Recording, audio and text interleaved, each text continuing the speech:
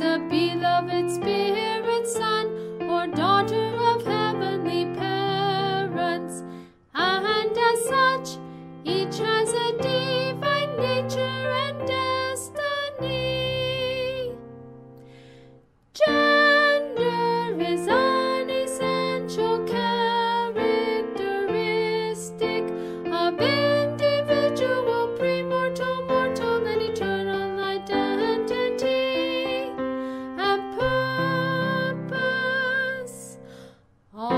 human beats Man.